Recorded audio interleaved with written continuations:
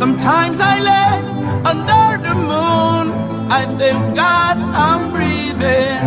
And I pray, don't take me soon, cause I am here for a reason.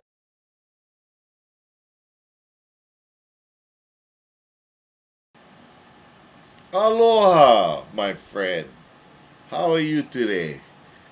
Today, I want to talk to you. My friend, are you a Christian?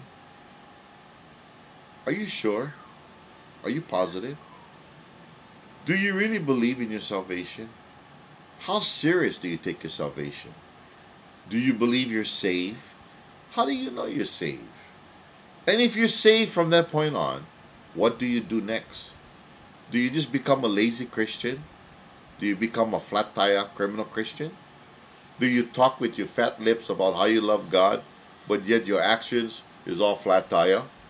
Is that you? Are you loving Jesus with your big fat hamburger lips? Or are you loving Jesus with your heart? My friend, God is just sick and tired of you murmuring and complaining and unappreciative, unthankful, ungrateful, disrespectful, lovers of yourself, lovers of what you want more than lovers of God. And you know what, my friend? If you're still in love with the world, you don't love Jesus. Because if you want to follow Jesus, Jesus said, you must give it all up. Give everything up. You must give the world up, my friend. You cannot have one leg in the world and one leg in the Bible. If that's you, you're in danger, my friend. Jesus is not a flu shot. You inject you inject him every year.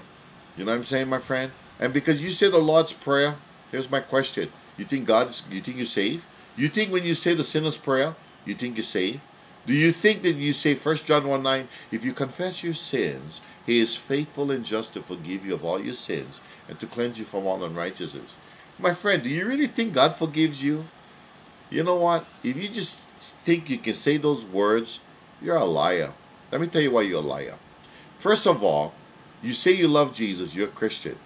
You go to church late. When you're sitting in church, you get tantrums. You're looking at your clock, how fast, how, how much more time get left in the service. You just want to get out of the service. You start yawning inside there. You start sneaking down somewhere to get out of church. Maybe you go to the bathroom, maybe 10 times special, just so you don't even hear the pastor because you're bored. But my friend, those are syndromes from hell. I think it's time that you really wake up and smell the coffee. Because my friend, if you're not going to wake up, then you're going to have a rude awakening. I can tell you right now, God is fed up with the criminal Christians with the big fat hamburger lips who saying they love Jesus and yet they love the world. They love to brown nose the world. You know their nose, you look them real good, you see the brown spot on their nose. They keep brown nosing and brown nosing and I call that ass kisses.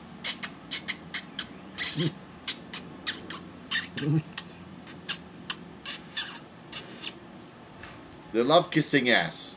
They kiss the world's ass. They even kiss the pastor's ass if they can.